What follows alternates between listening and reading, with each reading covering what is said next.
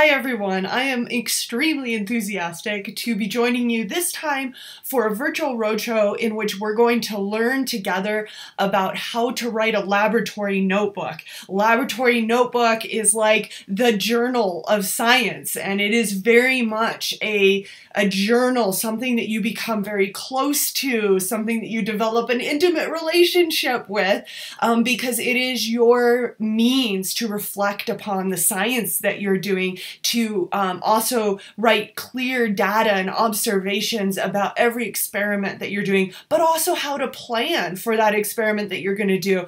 So it's an extremely important um, piece of doing good science. And now people are starting to use electronic notebooks, but I think it's great to also use a hard bound notebook, particularly if you're going to be running around in the field or in the lab. It's easier to write in a bound notebook. I also think it's just great to learn how to write your first lab notebook as a hard bound lab notebook.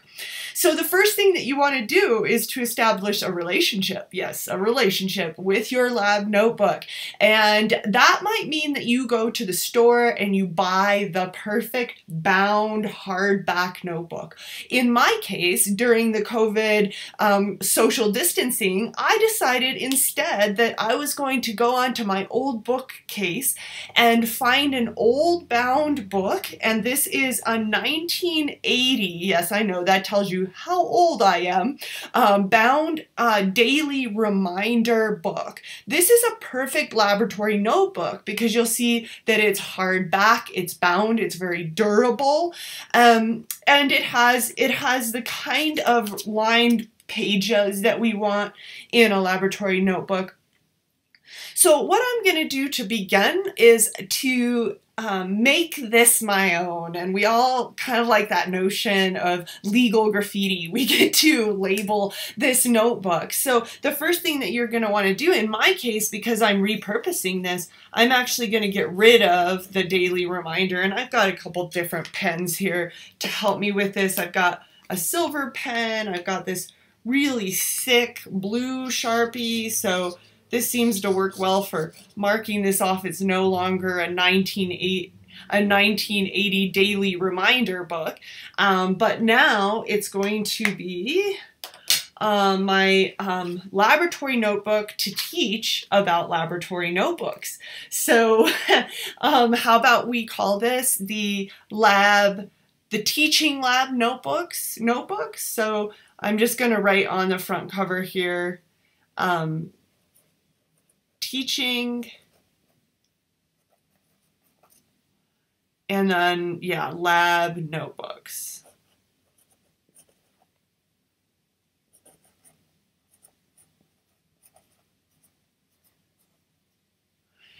And sometimes when you are doing this, this might be the second or third in a series of notebooks, and you might want to make note of that.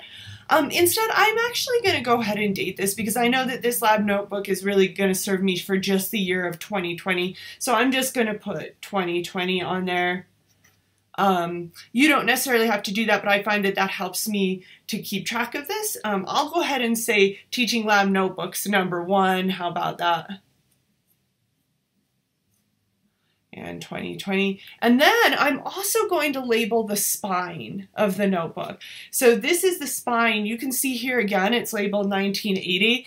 Um, we're going to go ahead and write on here, teaching lab notebooks.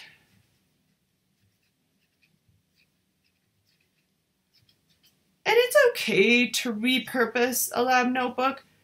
One thing that you don't want to do is you don't want to repurpose a lab notebook that um, has pages ripped out of it because we don't want a lab notebook to appear to be tampered with.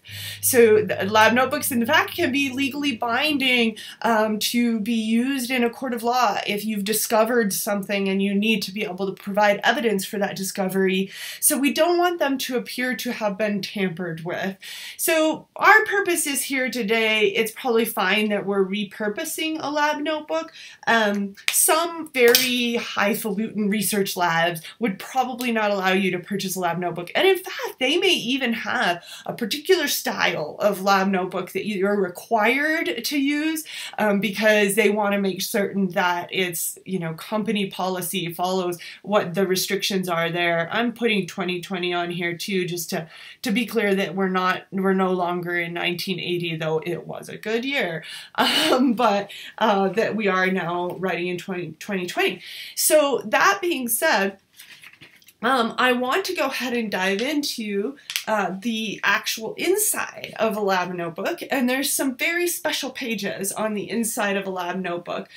The first page of the interior of your lab notebook is your sign out page, and the goal for the sign out page is to say who purchased the lab notebook, on the date on which you purchased it, or in this case, I'm making note of how I repurposed this on the 27th of the May of May in 2020, um, and then you want to go on to say a bit about the goal of the notebook, and you can see here I'm going ahead and writing that.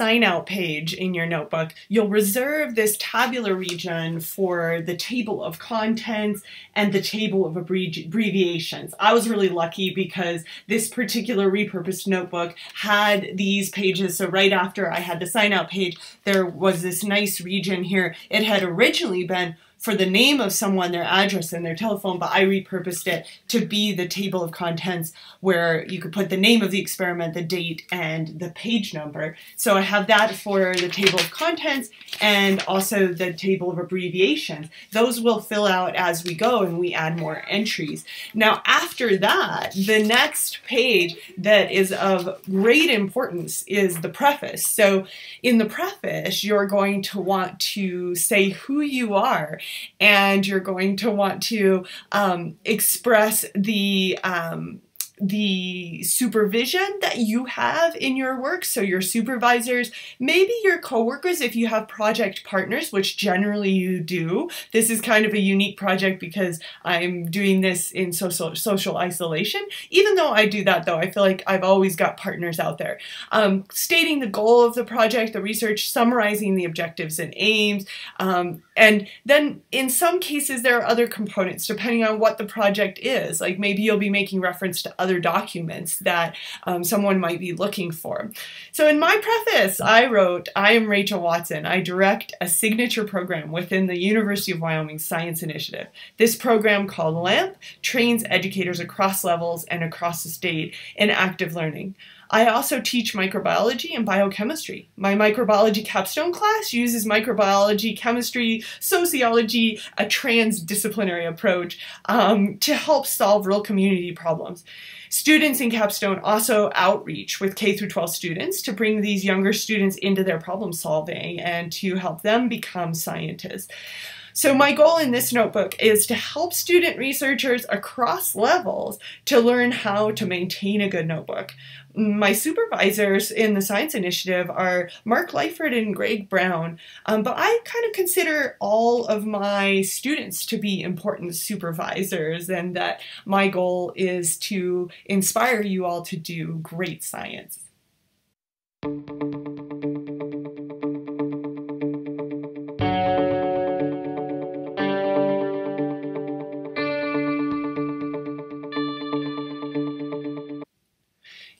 Completed the front matter of your lab notebook. The front matter is comprised of your sign out page, your preface, your table of contents and your table of abbreviation. That means that we're now ready to talk about what goes in the body of your lab notebook. Yes, even a lab notebook has a body. And one of the, the hard things to remember about the body of the lab notebook is all of the things that you should include in the introduction. So the first part of, of each entry that you make for each experiment you do is your introduction. So some of my capstone students decided that they were going going to develop a visual way to keep track of all the things that you need in your introduction. So you'll see here that um, we decided on a four quadrant depiction of the things you want to put in your introduction. First off, you always want to start that introduction on a new page, make sure that it's dated, and you always want to title it. Um, so you'll then get, you'll write down uh, one of your boxes will be for the hypothesis. Then you'll have a box for the relevant literature that's informing that particular experiment. You'll have a box for the benefits and a box for safety. Safety first, safety last, safety always. In this experiment, I'm going to be attempting to make a solid growth medium for our home sourdough culture. Um, we're going to do that using a boiled potato, something I've always wanted to try.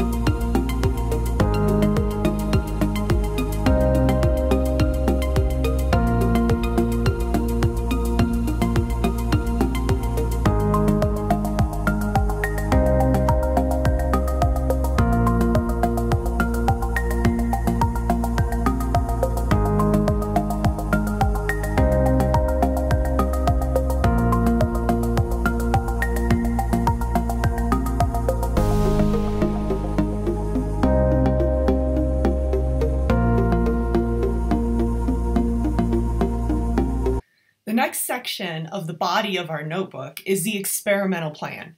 Your goal for this section is to write down the procedure that you're going to follow with as much detail as is possible. You actually want someone to be able to read your work and to be able to repeat the experiments that you have done.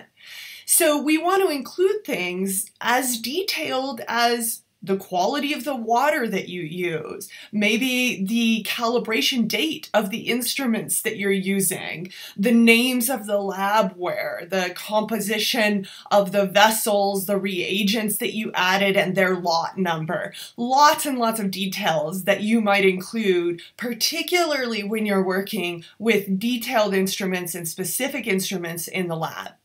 What I want you to do with this experiment that we're going to do today is I'm going to write an experimental plan and then we're going to do the experiment. And I want you to think about what I could have done even in a more even more detailed way that would have allowed you to repeat that experimental plan because you'll get to both watch me write about it and read it, but you'll also get to see me do the actual experiment. So you can think about what are some details that maybe I forgot to include when I wrote the experimental plan. Um, and we also know that once rubber hits the road, so to speak, that is, once you actually dive in and do the experiment, your experimental plan may be imperfect. You may realize that, in fact, a different kind of tool may work better than the one that you had planned to use. So you may write that in your observations as you're um, taking detailed notes while you're doing the actual experiment. So I write, I will begin by boiling approximately a gallon of water. I will place a potato in the water um, before turning the heat on. Notice there that I, I made an error. So in a lab notebook, you cross that error out and you initial it. Um, and then I will allow the potato to remain in the water once it reaches a boil for approximately five minutes. Once the five minute mark is reached, I will remove the potato with a slotted spoon. I will uh, allow the potato to cool on the slotted spoon for 10 minutes. The reason we cross with a single line and initial it is so that you can still read what was there. It's not like we're trying to cover anything up, but we're indicating that we made some kind of um, editorial error and that it was ours. That's why we initial it. I will ensure that the potato does not touch any non-sterile surfaces as I do not want it to become contaminated. Once the potato has sat for approximately 10 minutes to cool, um, I will use a sterile knife to cut it in half and then I will cut it in quarters so that the slice will be able to sit stably on a surface. I will place one potato slice on the sterile surface and drip a, and drip sterile cabbage juice onto the potato slice. This will serve as a color indicator that is sensitive to pH changes. And here I've drawn my experimental setup. You can see the potato, it's been boiled, cutting it into quarters, and then taking a slice that's got a flat surface there that's going to serve as the solid medium, dripping cabbage juice on, using some instrument there. I was a little unsure what I would use, and in, you'll see in the experiment what I actually use. Um, and then I've got the colored potato slice. I'm going to use a planned, I had planned to use a butter knife with um, the sourdough culture. I've dipped a sterile butter knife into that sourdough culture, streaked it onto the potato slice. So this was the plan I set out with. Um, and then after streaking the potato slice, I'll place a sterile cover on it and allow it to grow for 24 to 48 hours or until colonies form. Welcome or welcome back to my kitchen. Um, since I've been teaching microbiology, I've been curious about an experiment that was done in 1881. There was a man named Robert Koch, and he was the first person to think about the notion of growing microorganisms on a solid surface. And this was really, really important because when bacteria and yeast and other microorganisms are growing together in a liquid culture, they're all mixed up and we can't isolate them. We can't see like individual populations. So in order to see those individual populations, we need a solid surface. So he was seeking some solid surface that would work so that he could streak bacteria and yeast and other microorganisms onto the surface and see different populations grow up on the surface. So what he tried were a variety of things, but one was a potato. And what he did was he boiled a potato and he then sliced the potato into slices and used the sterile surface of the potato to grow organisms on. So I've always wanted to try this, so this is our chance to uh, look at what we can grow. And I've decided um, we're gonna use a sourdough culture to see if we can isolate some of the individual, hopefully mostly yeast cultures that are growing in that. Now, one reason that Robert Koch didn't settle on the potato as the right solid growth surface is because it really doesn't support the growth of everything. In fact, yeast are far more likely to like potato for dinner than bacteria are. So you're not going to get the growth of everything. And eventually he settled on this idea of using an agar extract, an extract of, of Rhodophyta, which is a red algae, and that really firms up a nice agar plate. And that, that's history. But at one point he tried with, with with the potato. So since we're all stuck at home and we're doing kitchen chemistry and kitchen microbiology, um, I thought it would be fun to try this at home. So what I did was I took a sweet potato that I have, um, I boiled it now for five minutes. Um, so that's enough to get it sterile on all the surface areas and um, it's already sterile on the internal areas. So I'm going to be able to slice it now. So what I'm going to do is just get a slatted spoon uh, so I brought it to a boil. Um, I put the potato in the water, brought it to a boil, let it boil for five minutes. Then I'm gonna pull it out and I'm actually just gonna let it cool. So we're gonna let it sit for 10 minutes now um, on this slotted spoon, which it's gonna stay sterile because we're, we're not gonna let it touch anything else. Um, and then we'll come back and we'll cut it into the slices that we need to create the, the um, solid surface for growth. So the potato is boiled and I went ahead and I chopped it into sort of quadrants and I'm taking this second quadrant here because it's got a nice flat surface that can serve as our solid growth medium. So that's where I'm gonna do the streaking, but I'm also gonna get kind of fancy. In microbiology, we use a lot of differential and selective media. What that means, selective media means that it kills certain things while letting others grow. Differential means that it shows the difference between two organisms based upon how they change color or something on a medium. So what I've done is I've boiled an old purple cabbage that I had and I've made this beautiful purple cabbage juice. And this is a pH indicator. It's a natural pH indicator. When it gets really, really acidic, it turns bright pink. When it gets very, very basic or alkaline, then it turns green. So what we're gonna do is we're gonna put some of this natural cabbage pH indicator onto the potato slice and we're gonna try to make a natural differential surface for microbial growth. I don't know if this has actually ever been done before. So I sterilized a spoon, I just did it by boiling, and I'm gonna take a little bit of this purple cabbage juice and I'm gonna see if I can get it, you can see it's a nice color here in the neutral area. So it's kind of got the same kind of purpley color you would you would see on a purple cabbage. And I'm just gonna put it some onto the potato um, surface and I'm gonna see if I can get it to absorb into that surface. So, woo, I'm a little shaky. There we go.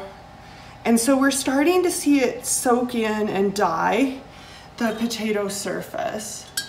And I'm just gonna keep, I'm gonna be patient. Half of science is patience and the other half is safety. You'll notice I'm wearing my safety glasses. Just soaking in.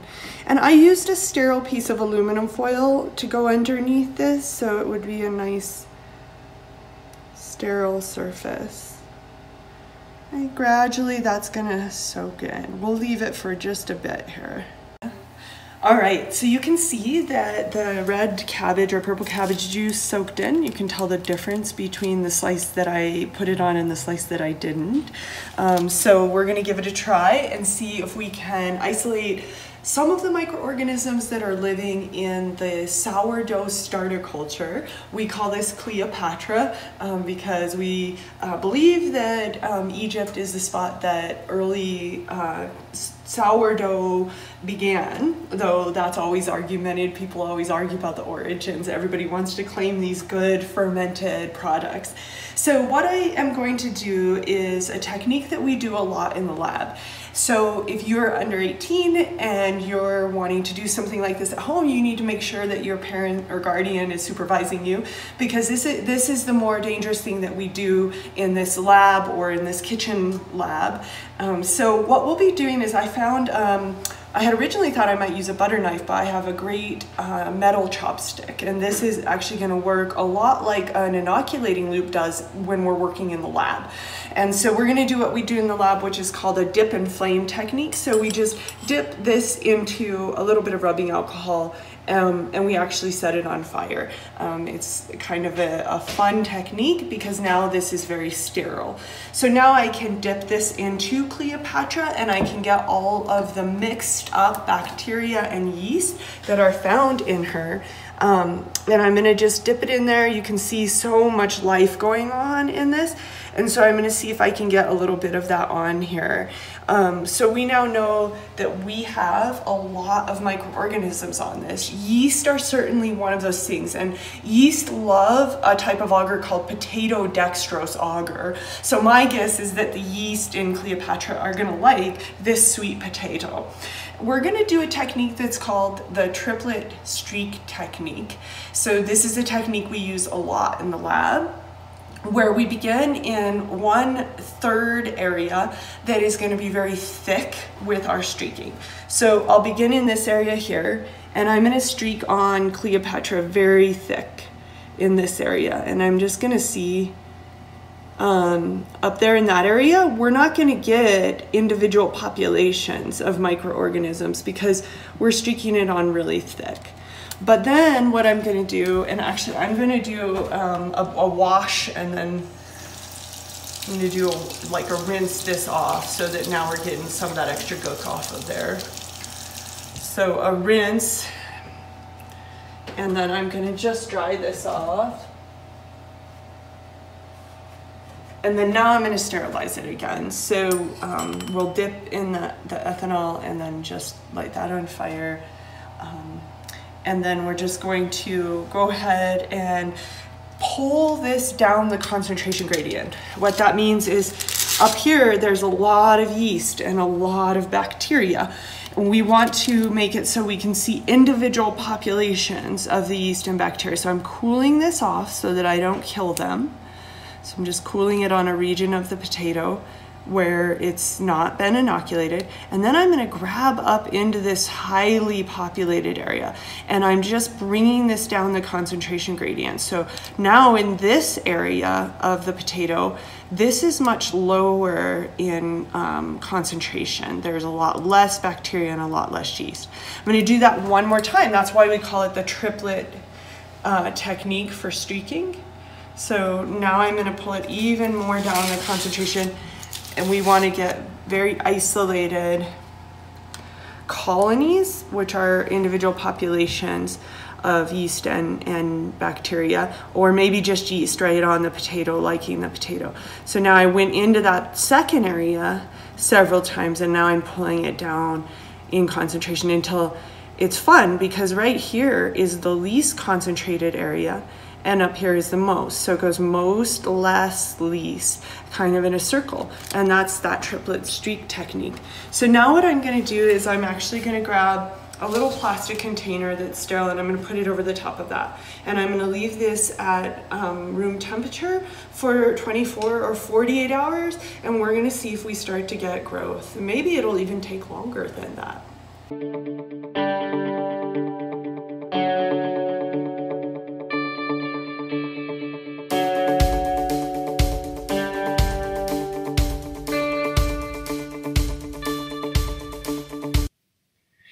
As you're performing your experiment and immediately after performing your experiment, you want to carefully write down all of the observations.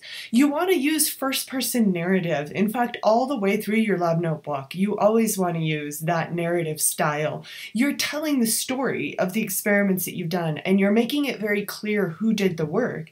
In retrospect, it's important to know that I was the one that streaked that potato slice um, rather than someone else. So you want to make sure that the details of who did the work are included um, in your, your laboratory notebook. So as you're recording observations, you also may want to record raw data. In, in this particular experiment, we weren't getting a lot of raw data, but sometimes you are. Maybe you're making measurements of pH or temperature or something along those lines. So make sure that you're very detailed in what you write down. It's never too much to write. Um, you can keep in fact, rambling in your notebook. We actually say that technically a notebook is the place for your ramblings. I'm going to read to you the observations that I wrote um, as I was working on this experiment and immediately following. When I put the potato in the water, I was surprised to see that it floated. Hmm. After I boiled and cut the potato and dripped cabbage juice on the quadrant that I would streak, I noticed that the quadrant surface did take on a light purple color. This was compared to the surface that did not have cabbage dripped on it. After leaving the, slice to dry, kind of on the surface, I realized that it would be easier to streak the surface with a metal chopstick rather than a butter knife. That's what I had originally planned. The dip and flame sterilization worked well for this. When I dipped my chopstick into the sourdough culture, I noticed that there was a harder film on the top that was of the more viscous liquid. It was easy to inoculate the chopstick as the sourdough liquid is sticky. After streaking first of three regions with the heavy inoculum, I had to rinse the chopstick and then sterilize it again. The top region of the triplet streak was very thick, but it felt to me that dilution in the second and third areas happened very quickly, more quickly than it does on an agar plate. It seemed that the potato slice was more textured, like rough, uh, like sandpaper, compared to an agar plate. And then I draw this uh, image of the triplet streaking on the potato. Um, so notice that some of the things that I write in an observation section are things like I noticed, or it seemed interesting, or it seemed strange, or it seemed unusual. These are all things that you'll want to include in an observation. It's just more than 24 hours since we inoculated the sweet potato and we do see some really good growth and you can hopefully zoom in a little bit on this. Um, it's difficult to see and if I do this experiment again I might add more, um, soak this potentially in the purple cabbage juice what you are seeing here is the growth um, in the thickest area of our triplet streak. There's a nice kind of layer of purpley white growth. There's kind of more white on this side. There's a little purple on this side. The thing that interests me is as you go to the less concentrated areas, we're actually seeing a few isolated colonies. So over here, particularly kind of nearer the edge, I think because there's more available sugars, because it was more boiled and more cooked along the edge, you can see some individual isolated colonies are tiny little white ones. It looks to me like one single morphology. So one particular yeast most likely liked this potato and has, has formed some little colonies. So we were successful in a sense in that we did isolate a single um, particular culture, in order to characterize it more, we would need a microscope, we would need to be able to do some staining, um, and uh, maybe even some biochemical testing to find out exactly what we have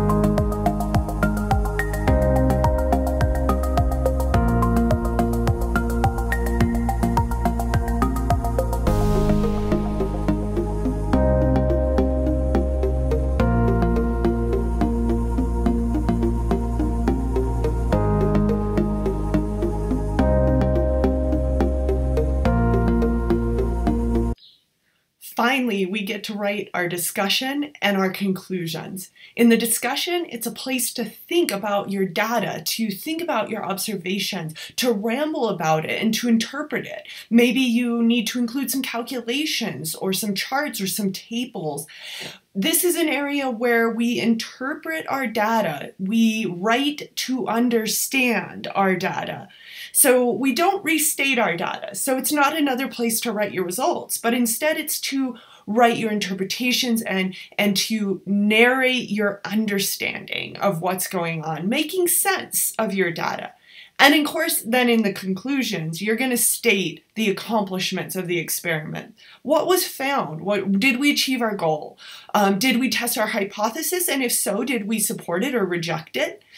Did we have some other things we would want to do differently next time? How would we change it? If we need to do the experiment again, what will we change? We want to write any novel ideas, light bulb moments, what occurred to us.